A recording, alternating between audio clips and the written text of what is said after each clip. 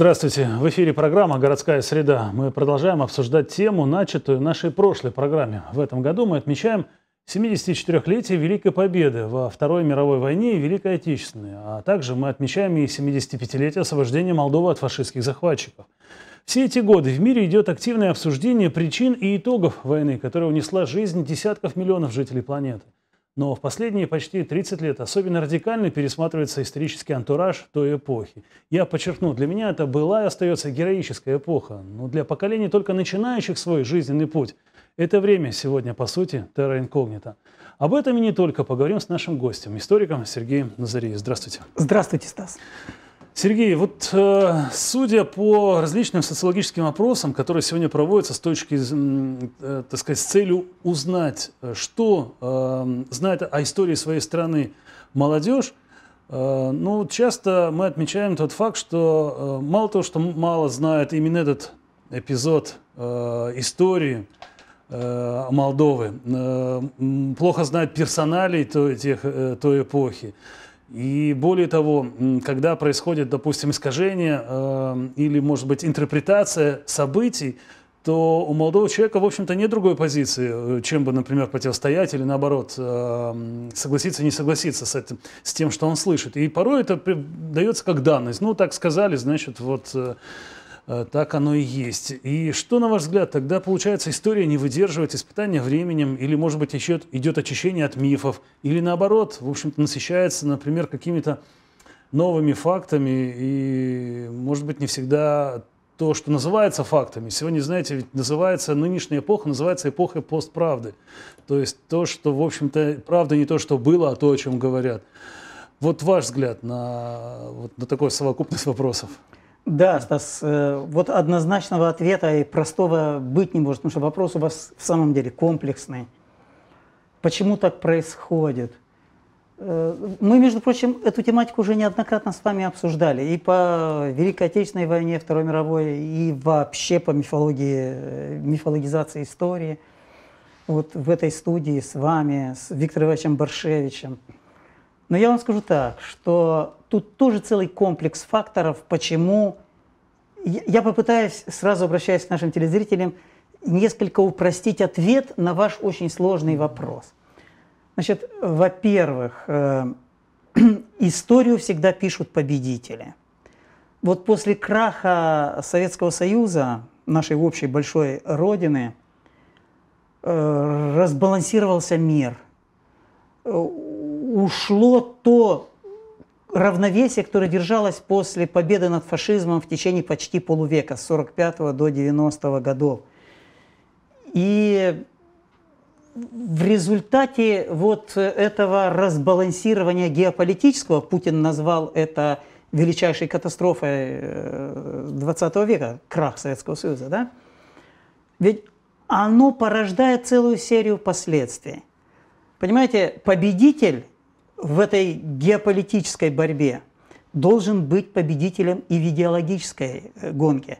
В умах людей всего мира, в том числе и тех стран, которые составляли соцлагерь, который разрушился и распался, а впоследствии через пару лет и Советский Союз полностью распался.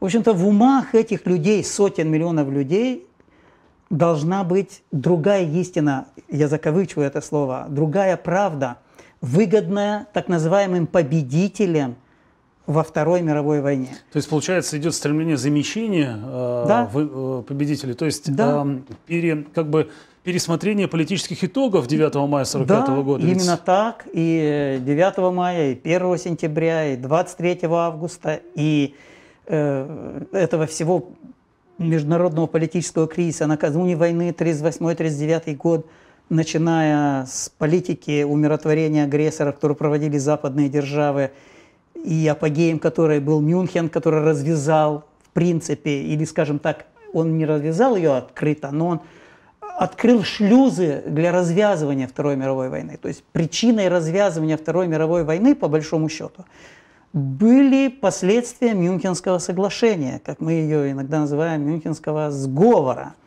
Вроде бы сдали только Чехословакию, но это не совсем так. Это так. сдали Чехословакию, но открыли для Гитлера возможность для развязывания Второй мировой.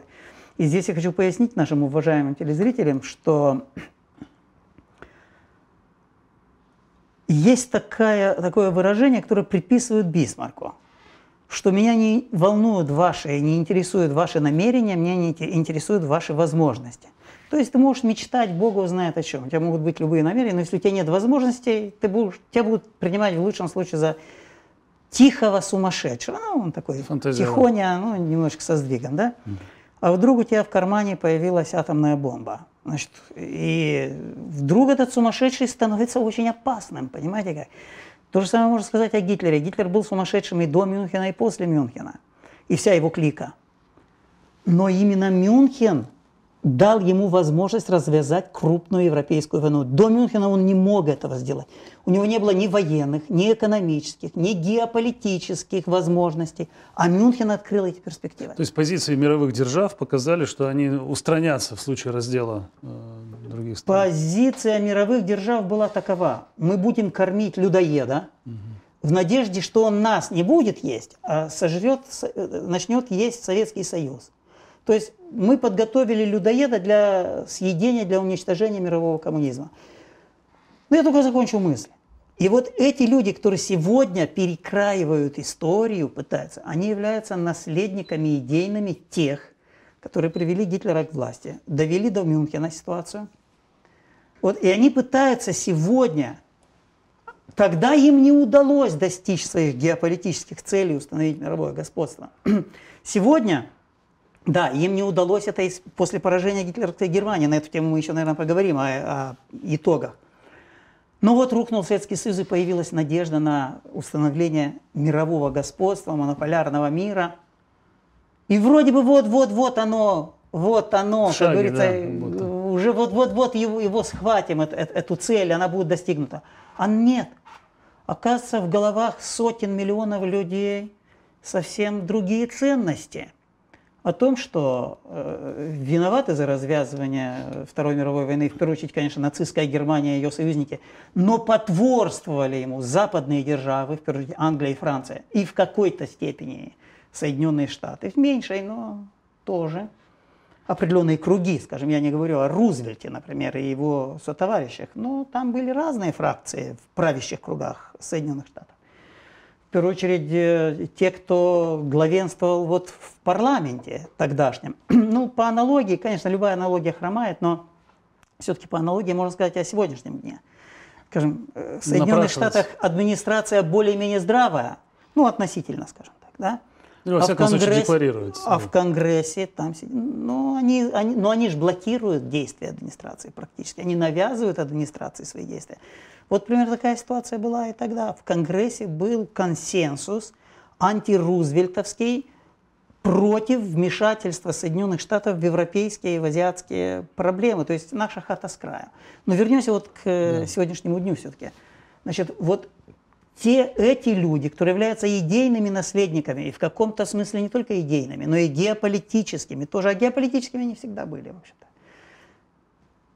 тех э, миротворцев или умиротворителей, которые пытались Гитлера направить, направить. на восток, они теперь пытаются переписывать историю, чтобы изменить мы, мыслительный код, ментальный код сотен миллионов людей, понимаете, как в том числе в нашей бывшей советской стране, на постсоциалистическом пространстве, на Западе. И я вам скажу, что на Западе в значительной степени им это удалось. Вот э, если мне память не изменяет, мы как-то в одной из передач на эту тему с вами говорили по поводу японцев. Вот провели соцопрос, ну, пару лет назад это было, среди многих студентов, несколько тысяч студентов японских университетов а, анкетировали, да? И вот 60 с чем-то процентов, где-то 61-62 процента, если мне память не изменяет, но больше 60 точно – они были уверены, что Советский Союз сбросил бомбы на Хиросиму и Нагасаки. То есть, видите, Америка, что, а касается, вот что касается западного мира, получается, что они достигли этого результата. Вот в этом смысле они хотят добиться такого же результата, может даже лучшего, и на постсоциалистическом пространстве, на Мы часто наблюдаем это в Восточной Европе. Смотрите, Да, с, э, естественно. то, что происходит и в бывших советских республиках, вот в странах Балтии. Мы читаем и видим о том, что на Стас, улицах а столиц вы- этих бывших а республик вы маршируют. смотрели опросы населения в восточноевропейских странах? Вот несмотря на эту политику, о которой вы говорите, западные вот эти вот кураторы, э, претенденты на мировое господство, они добились того, что элиты у них, этих стран у них стали карманными. Они превратили эти страны в сателлитов второго, третьего разряда. Даже не, они не союзники, они даже не сателлиты, не вассалы первого ранга, они вассалы э, третьесортные, вот так вот эти все прибалты, румыны и так далее. Ну, может, поляки второго сорта, французы первого сорта, немцы вообще... Ну, первосортные французы 44 дня воевали. Ну, как бы то ни И- было, и я сдались просто имею в виду, что для Соединенных Штатов, наверное, более ценна Франция и, и большая степень независимости внешней политики и внутренней политики, чем, скажем, прибалтийские государства, которые проводят откровенную русофобскую политику. Но вот если вернуться к, к вашему вопросу, ведь когда проводятся опросы населения в той же Франции, Германии, в той же, даже в Румынии, понимаете, половина населения Румынии считает Путина самым выдающимся деятелем современности, понимаете как?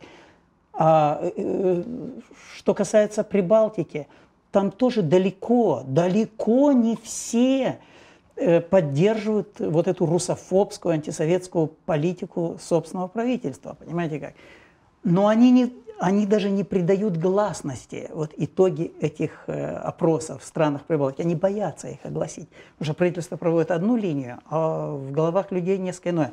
То есть для того, чтобы установить реально свое господство над этими территориями, им нужно, им нужно изменить ментальный код этих людей, которые проживают в этих странах. Поэтому они и проводят эту линию. Вот в свое время английский премьер-министр Уинстон Черчилль однажды заметил, школьные учителя обладают властью, о которой премьер-министр может только мечтать. Имеется в виду, что, очевидно, шла, речь как бы шла о том, что именно учителя истории, например, одни из немногих, которые могут заложить в, в сознание молодого человека понимание вот исторической идентичности, понимание того, э, какому эм, миру ты принадлежишь и э, чьим наследником являешься, наследником каких традиций. В общем-то, сегодня, когда читаешь учебники истории, которые, по которым изучают и этот период истории, в частности, понимаешь, что у нас этот код, тут я с вами как раз и соглашаюсь, пытается вот в наших новых поколениях пытается искоренить этот код, Стас, переключить вот их этот вопрос является с- и ответ. продолжением, Да. он частичный ответ, но он продолжением вашего предыдущего вопроса тоже. Потому что тогда тоже были элементы из этого вопроса в вашем предыдущем. Вот это, это, это утверждение как бы приписывают Черчиллю, Бог его знает, говорил он это или не говорил, но если он это говорил, то он однозначно лукавил. Потому что учителя сами по себе ничего не способны сделать. Понимаете как? Учителя работают в рамках тех программ, тех проектов, которые разрабатывают власть имущие на протяжении э, долгих десятилетий. Учителей же тоже готовят. Понимаете как? Вот Я не просто понимаю. пришел Но учитель. и Черчилль говорил пере- это во времена, когда не было, так сказать, то процессов самое э, типа Болонского времена. процесса. Во все времена. Ну, не было Болонского. Болонский процесс, тут я вам скажу, что ни при чем. Потому что Болонский процесс, он к истории имеет э, мало общего, мало отношения. Болонский процесс – это универсализация стандартов образования, чтобы мои дипломы признавались в вашей стране. Я окончил во Франции, а вы в Германии. И вот мои дипломы, наши дипломы взаимно должны Да, признаваться. идентичность программ, подходов. Нет, ничего подобного.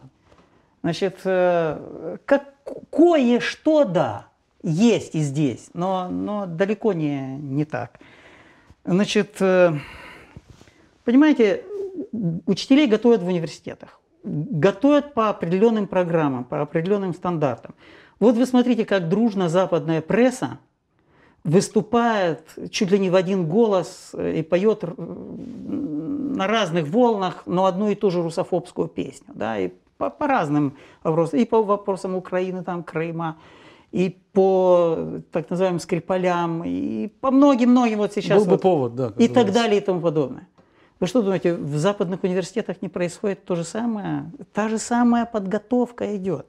Вот иногда на одной волне всех готовят. Это все да, существует определенная автономность э, университетов, но в, при, в определенных рамках и пределах.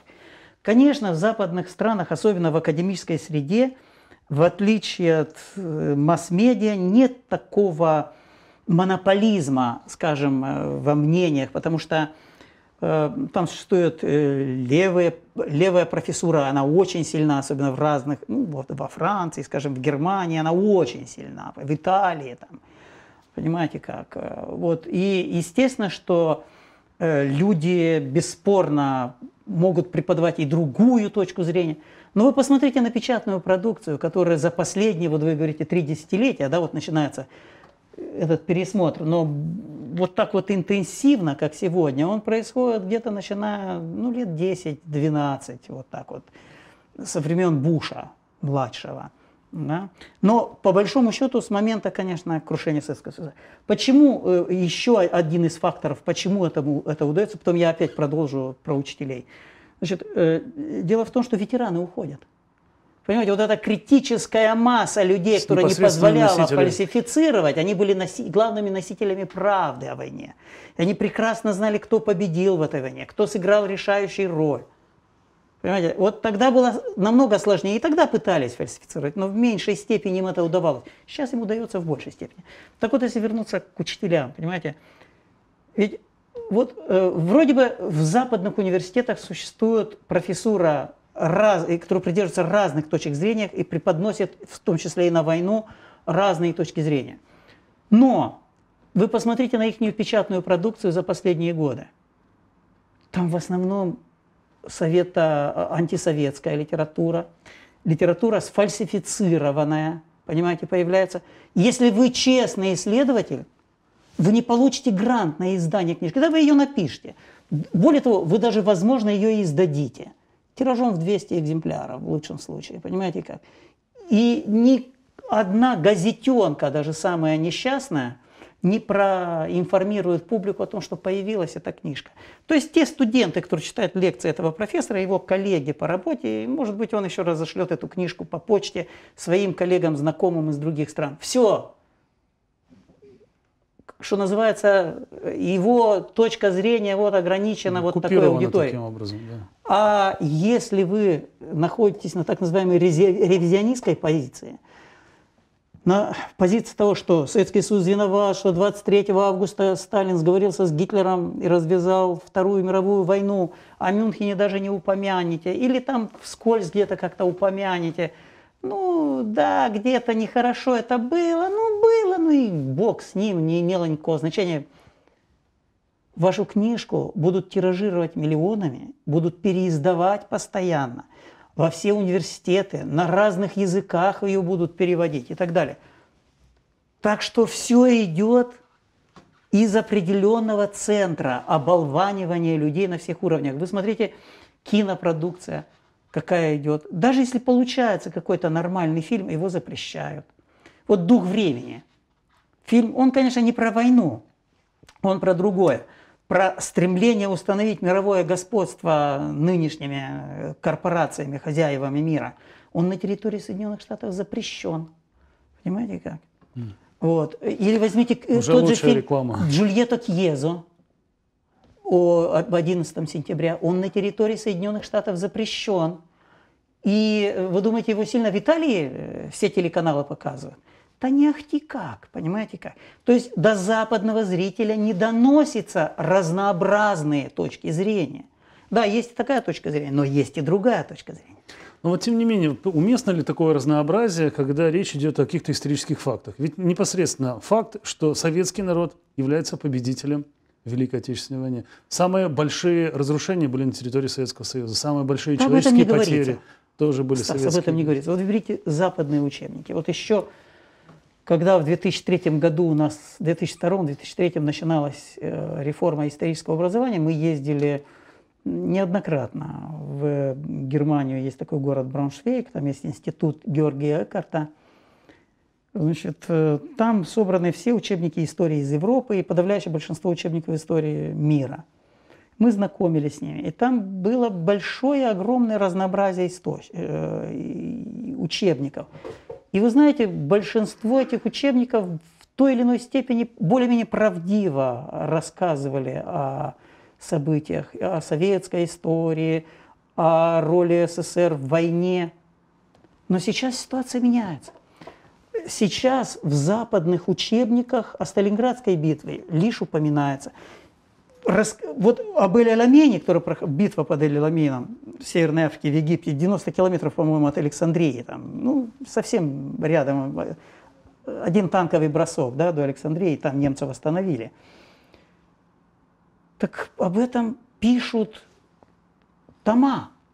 Или, скажем, вот один том, посвященный вот этому периоду, и битвы происходили в одно и то же время. Под Эль-Аламейном у немцев и итальянцев было 80 тысяч войск. Из них более двух третей это итальянские войска. Их боеспособность, что называется, оставляет желать лучшего. Это были не, не войска, это были слезы, в общем-то. А под, на, на Сталинградском направлении в это же время они имели полтора миллиона человек. Тоже, правда, вместе с союзниками, но там были отборные германские части, понимаете как? И из этих полутора миллионов, около миллиона были немецкие войска. То есть больше половины были немецкие войска. Союзники, итальянцы, немцы, румыны, кто еще там, ой, извините, немцы, итальянцы, венгры, румыны прикрывали фланги. А на главном направлении прорыва шли немецкие войска, высоко моторизованные, хорошо оснащенные технически. Понимаете как? Об этом ни слова. Есть целые битвы, которые вообще пропущены. Курская битва, например, Белорусская, наша Яска, Кишиневская. Ну вот, э, пример такого, Московская битва упоминают, что была, да. Под Потом Москвой. происходила Сталинградская битва, где немцы потерпели поражение или были остановлены у Волги. Вот примерно вот такая фраза. Вот все, все. А потом советские войска уже э, типа завершили войну под Берлином, понимаете? Как? То есть ни о, не о количестве человеческих жертв, о трагедиях. Да ни о чем. О сожженных ни деревнях о чем. и городах. 98% всего учебника, который касается Второй мировой войны, значит, это о славных боях за какую-то там деревню или за какой-то остров – Э, в ходе взятия которого пострадал один американский солдат там под Сицилией от того, что его укусил мул. Понимаете, как? Вот, вот об ну, этом. Вы же понимаете, пишут. капитан Америка, это же невозможно. Это ну вот, вот у людей создается мнение о том, что американцы сыграли главную роль. Они даже, они же не приводят цифры того, э, сколько войск, какое время были на советско-германском фронте, на всех остальных западных фронтах. Понимаете как? о том, что они же нигде не пишут, что более 70% всех боевой техники было уничтожено Красной Армией. За 6 лет войны более 70%. Танков, самолетов, там артиллерии. Значит, 85% раненых и 88% убитых немецких э, военнослужащих во время боевых действий погибли на Восточном фронте, понимаете как, а не на Западном. Хотя на западных фронтах там их было вроде много, отвлекали и даже отвлекали иногда и в ту же Северную Италию. Э, в 1943 году около 40 дивизий немецких отвлекали туда, да. Ну, там и бои какие-то происходили, бесспорно. Но если сравнить их потери и их, и их вклад в борьбу против немецко-фашистских войск – англичан, французов и то, что происходило в это же время на Восточном фронте. Потом открыли Восточный фронт, э, извините, Западный фронт, да, Второй фронт в 1944 году.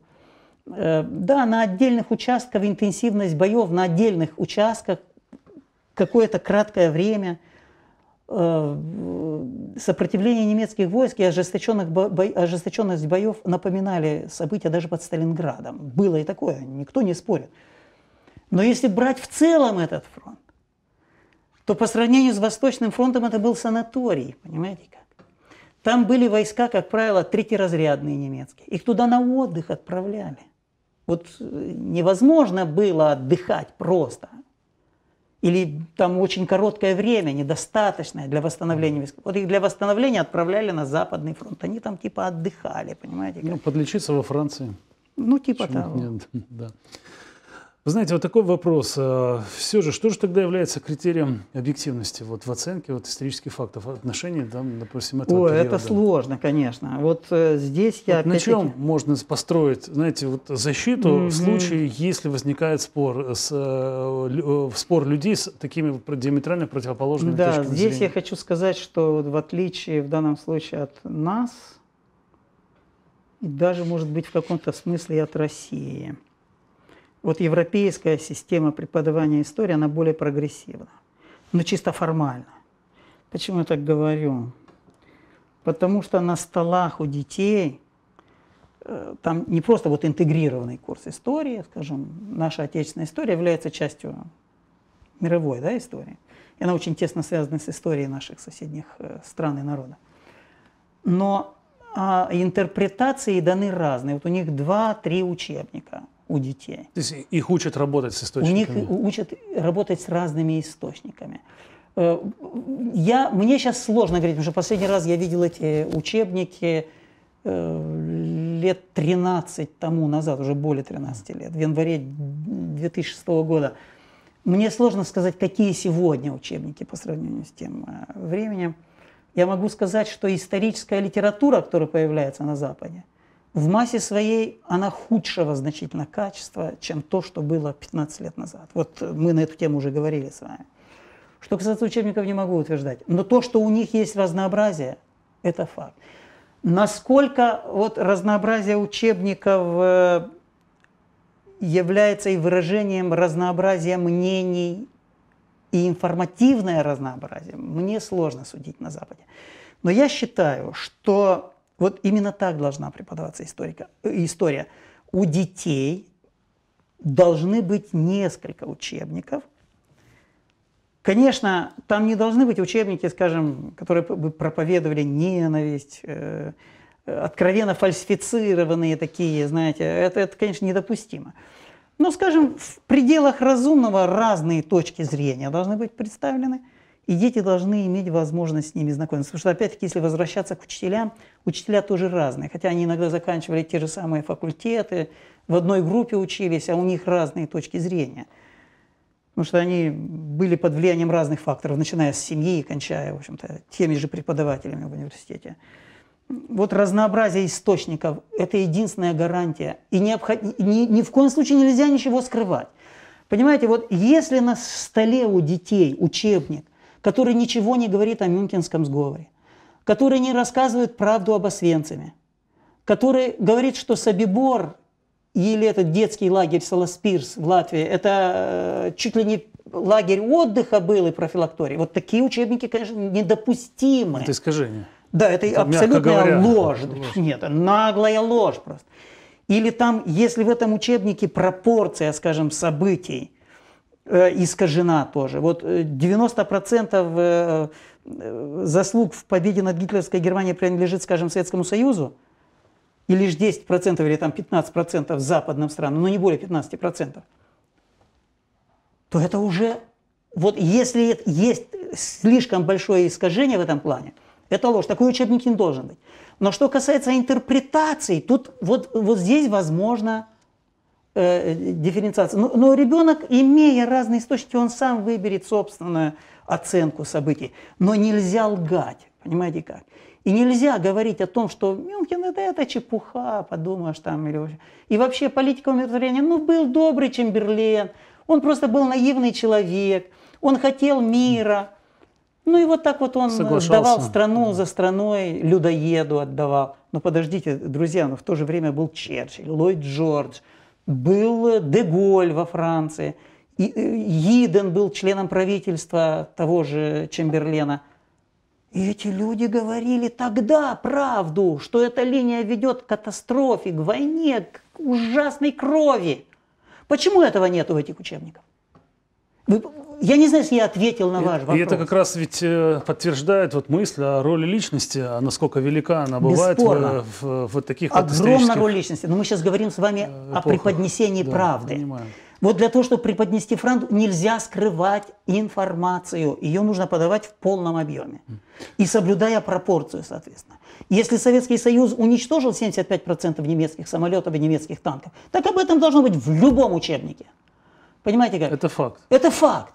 Если Советский Союз 88% убитых, 85% раненых э, нанес вермахту, так это факт. Понимаете? Об этом, почему вы не пишете об этом? Я, вот, Кому-то, вот именно видимо, так, невыгодно. Но вот, Сергей, такой вопрос. Э, этот период мировой истории, мне кажется, один из таких наиболее изученных. Э, сколько, допустим, на протяжении вот этих 74 лет, ведь многие историки обращались к этому периоду. И не только историки. Смотрите, сегодня ведется э, такая поисково-спасательная работа. Возвращаются имена героям, павшим на полях сражений и пока остающиеся или остававшиеся к этому времени безымянными Эм, тем не менее, вот какие темы, связанные с Великой Отечественной войной, могут быть не раскрыты до конца, или, может быть, еще не раскрыты историками, не поняты? Стас, Вторая мировая война очень хорошо изучена, но изучить ее вот э, досконально – это время, наверное, на столетие. Но мне сложно сказать, насколько японцам удалось это сделать. Но вот еще, по-моему, в 70-е годы, если не, но работу они начали намного раньше – но вот в 70-е годы они издали э, историю войны на Тихом океане, Второй мировой войны на Тихом океане, в 101 том. Там описываются действия японской армии чуть ли не до роты. Вот понимаете, вот, вот как действовала в тех или иных условиях рота с первого дня и вот пока она, или война закончилась, или их всех уничтожили, расформировали, расформировали эту роту. Вот до такой степени, конечно, у нас и даже на Западе история не изучена. Бесспорно, понимаете как? До, до таких деталей. Вот. Но вот э, японцы пунктуальные, мне сложно сказать, почему, каждый свой почему шаг. им это удалось, насколько им это удалось. Но, видимо, были серьезные инвестиции правительства в э, раскрытие вот этих событий. Что касается интерпретации, это уже другой вопрос, опять-таки. Но э, изучить японцы изучили. Значит, Вторая мировая война очень неплохо изучена. Но нет такого периода в человеческой истории, который бы был бы сфальсифицирован больше, чем история Второй мировой войны. Начиная от причин, о чем мы уже чуть-чуть затронули да, и кончая завершающим этапом. Ну вот я уже приводил пример, э, скажем, такой скрытой фальсификации, когда о событии не говорится ничего – и говорится намного больше о событиях, происходившем параллельно с этим, и которое возвеличивает, придает ему огромнейшее значение. А событие, которое стало началом коренного перелома в ходе войны, почти что ничего не говорят. Ну, там несколько да, Подмена статусов событий и да. совершенно другие последствия да, по-другому да, воспринимаются. Абсолютно вы правы, абсолютно вы правы. И в этом плане, вот э, то же самое, вы не очень-то прочтете в западных э, учебниках о штурме Берлина. Вы, не, вы ничего не прочтете в современных учебниках, ну, по крайней мере, вот, вот когда я читал тогда, в 2003-2006 годах, об этом писали, ну, некоторые учебники, более, видимо, их писали э, с левых позиций. Но я мог читать только учебники на французском, там, на итальянском, на немецком, на, извините, на испанском языке и на некоторых славянских языках. Э, словацкий, там, украинский, вот, э, ну, может быть, немножечко польский. Так, в принципе, если на слух ты ничего не понимаешь, но если читать, понимаете, то более-менее э, понятно. Все-таки ты знаешь эти один романский язык, один славянский, и тебе это легче дает. А романских, в принципе, два, потому что я и французский учил в школе. Вот там более-менее правдиво преподносились события, но все равно э, процент, скажем, пропорция событий, освещенных на Западном фронте, э, участие союзников в войне было значительно больше, чем э, реально эти события сыграли какую-то роль в разгроме гитлеровской Германии. Да, так вот, если говорить о Восточной Европе, вот вы говорите насчет фальсификации. Сейчас, по-моему, самые грубые фальсификации на двух моментах Второй мировой это причины начала войны. Советский Союз уравнивают в ответственности с гитлеровской Германией, да. Хотя это наглая ложь, просто-напросто.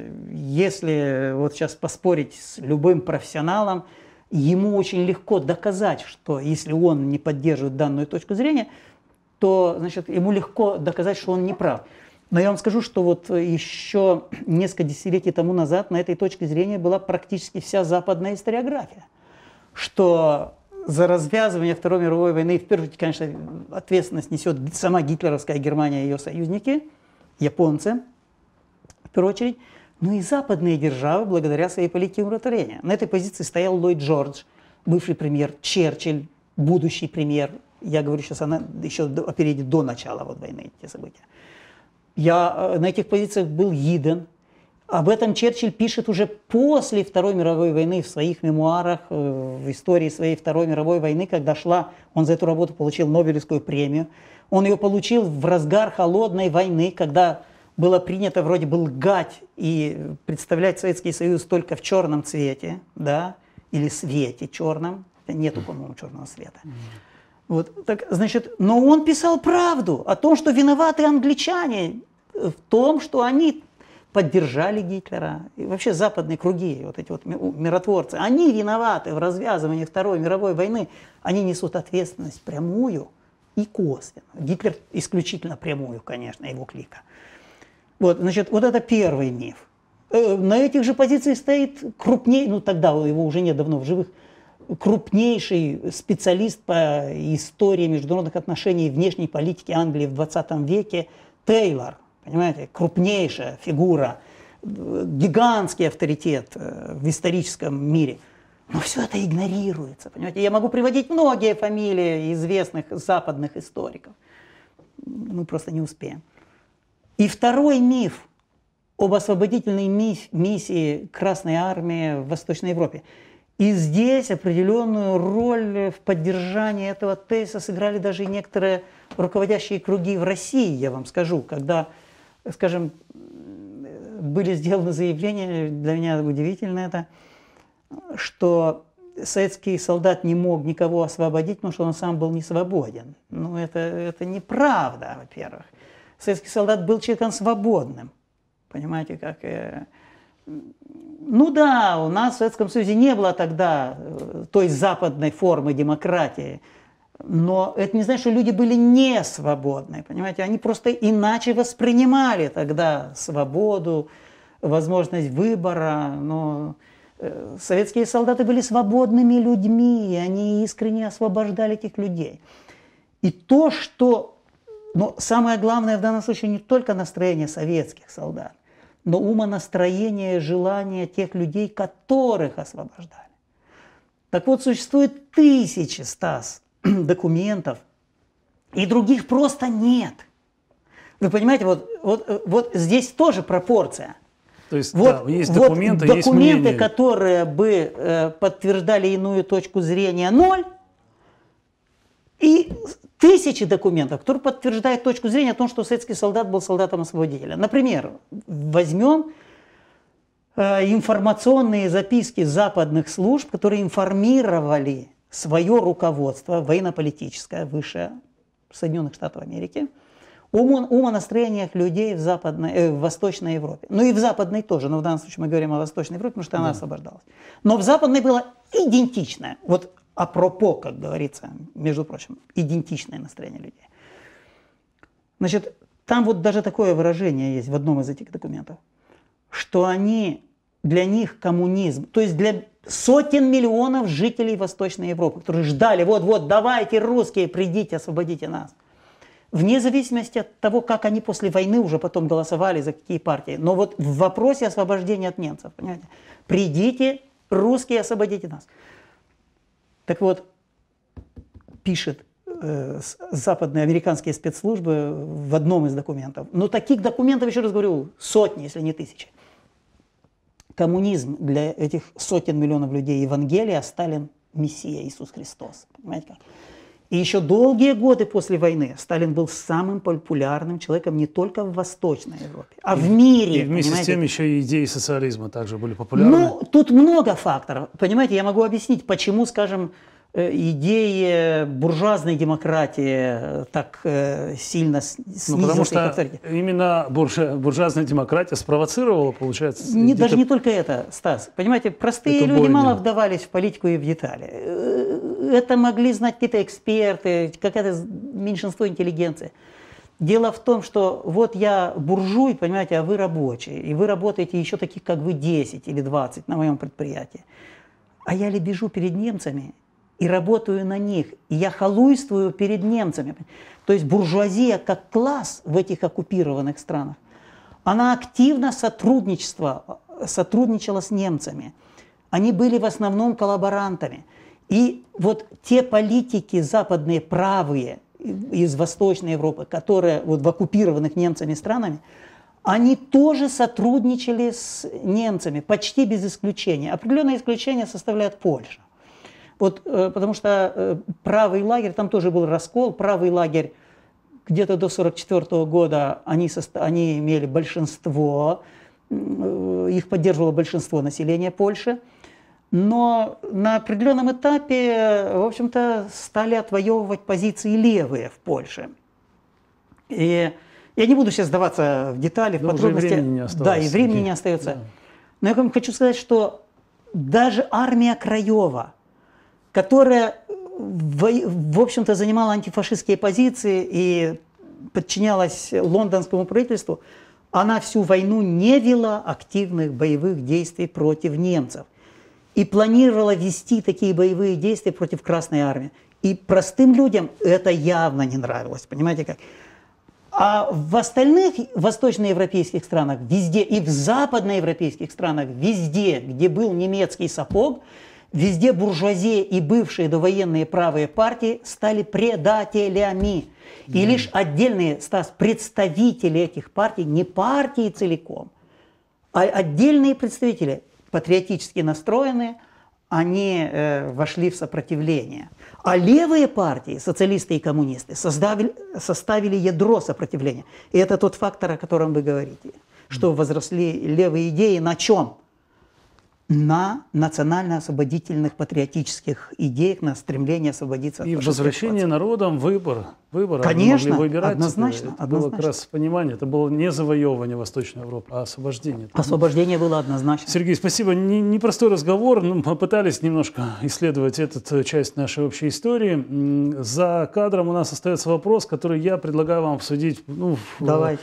в ближайшее время. Э, вопрос, который звучит так. Победили бы мы сегодня в такой войне, если бы, не дай бог, Ой, она случилась. Это сложный Но вопрос. Это, это сложный, сложный да, вопрос. и он требует Но еще буквально 30 секунд, если вы мне позволите. Вот по поводу так, так называемой оккупации Восточной Европы.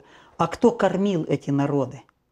Не только немцев кормили, с Красной Армией своих запасов кормила этих людей, потому что немцы, когда уходили, отступали, оставляли выжженную землю в пустыне. Людям нечего было есть. В той же Украине, насколько вот мне известно, да, Украина это был землю, состав Советского сам... Союза.